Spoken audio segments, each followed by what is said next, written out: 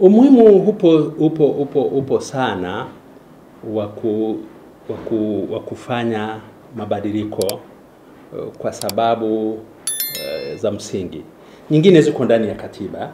Katiba yetu nafikiri hata walioiandika pamoja na mapungufu yake mengi, lakini iliweza kuweka mambo wazi e, ambayo yaweze kufuatwa kama hali ya namna hii iweze iweze ikitokea eh? Kwa mfano ukianza tu rais kama aliyopo ikatokea akapata akafariki kama ambavyo imetokea, tayari katiba ilisha provide kwamba makamu wa rais atachukua nafasi hiyo na ataapishwa. Hilo limeweza kutekelezwa, lakini hiyo hiyo katiba inazungumza kwamba sasa atapendekeza ni nani atakwenda kuwa makamu makamu wake kutoka kwenye chama chake. Hilo liko provided kabisa. Kuna swala la waziri mkuu. Tayari katiba inaeleza huyo rais ambaye atakuwa ni mteule eh, amesha hapa, huyo rais ataweza kupendekeza waziri mkuu.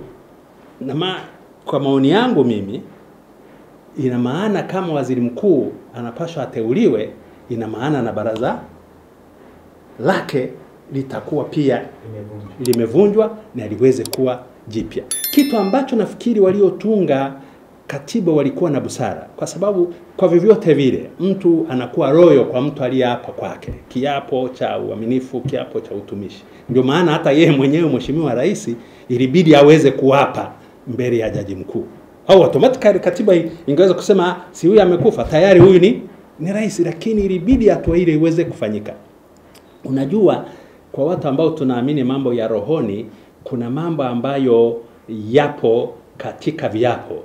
Mtu anapokuwa ameapa mbele zako eh, hata katika vitabu takatifu anapokuwa anakuapisha, kuna muunganiko fulani ambao unakuwepo kiroho. Kwa hiyo mimi ningemshauri hasija akakubali eh, kuburutu, kuburu, kuburuta tu kwamba basi anarithi anarithi ule uongozi wote uliopo.